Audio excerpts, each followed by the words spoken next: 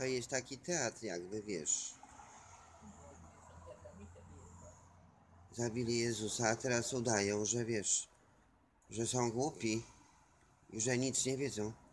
Grają głupiego Jaśka. Chętnie mówią o papieżach. No tu Warszawa papieska, no to o spiskach watykańskich, o, o tym wszystkim ja mówię, boż. Że ten Grzegorz VII miał kochanki, miał kochanka, chłopców miał. Po co mu laleczka? Grzegorz VII zdaje się, tak? No kiedy to było? Dawno.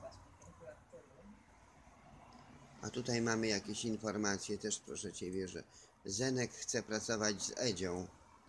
Czyli z tą górniak, wiesz, Edzia.